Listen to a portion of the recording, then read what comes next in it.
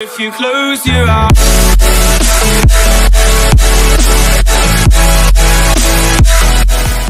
Okay, today class we are telling what we want to be when we grow up. First up is DaBaby. I will turn into convertible. You will never.